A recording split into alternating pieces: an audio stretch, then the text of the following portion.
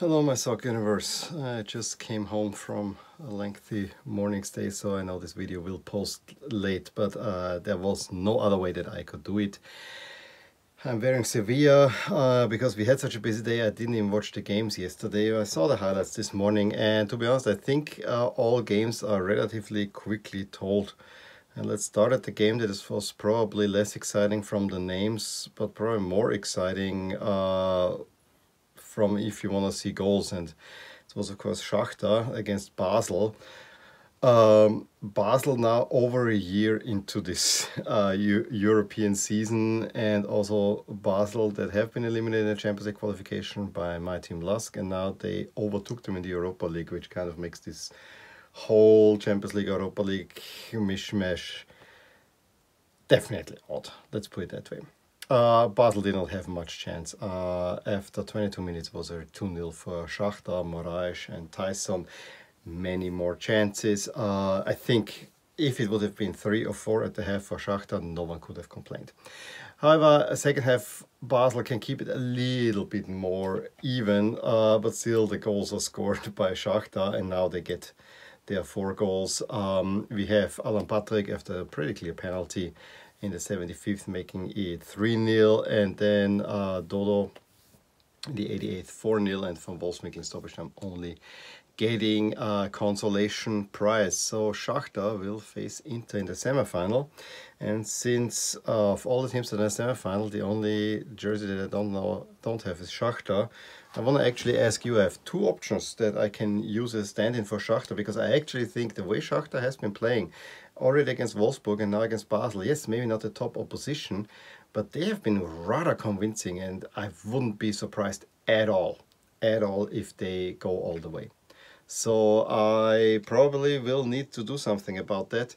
I was thinking if to ask a colleague whether they have a Shakhtar jersey that they can borrow me, but I'm not sure if I will be able to get it on time. So the other thing is I have to use stand-ins and my two options that I came up with. I mean, the third option would be a Brazil jersey with give all the Brazilians, but of course I can use a Ukraine jersey since they're from Ukraine. It's just that those are no Shakhtar colors. So if you want to go Shakhtar colors, shall I use this Dutch jersey? I mean, it's orange with black. Those are the club colors. What do you think? What's better to use? As a Shakhtar stand-in. I'm leaning Ukraine, but I mean this would not be out of place. So for now, since I'm wearing Sevilla, I will put now this Ukraine jersey here. Because I mean, after all, they're representing the Ukraine. But if you think or find a good reason that I should use the other jersey, just let me know. Or if you want to borrow or quickly send me a Shakhtar jersey, I would be more than happy to have it.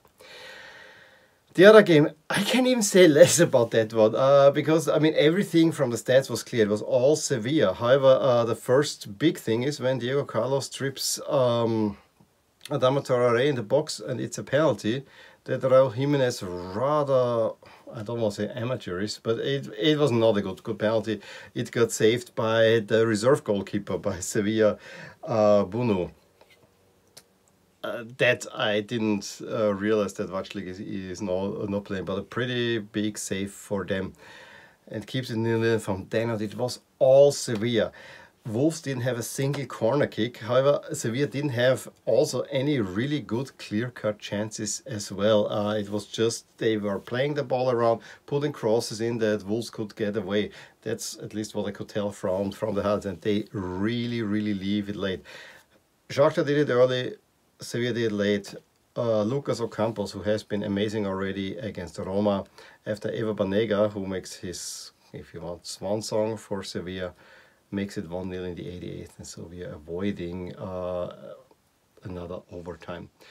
And therefore, we have now in the final, uh, no, semi-final, we have Sevilla against Manchester United, a great matchup.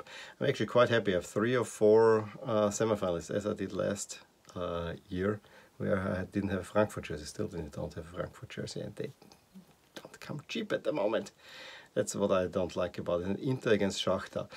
Everyone would say, okay, Sevilla uh, United is a toss-up, and what Inter have been showing, maybe they are favored. But to be honest, what Shakhtar has been showing, I would not be surprised if Shakhtar uh, goes into the final and goes all the way.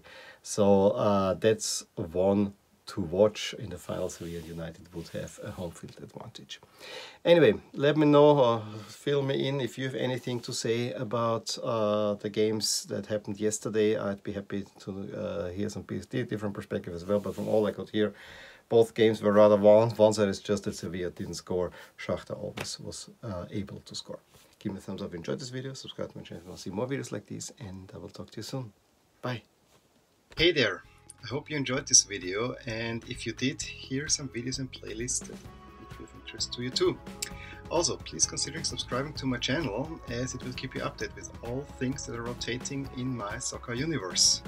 With that, I wish you a wonderful day. Bye.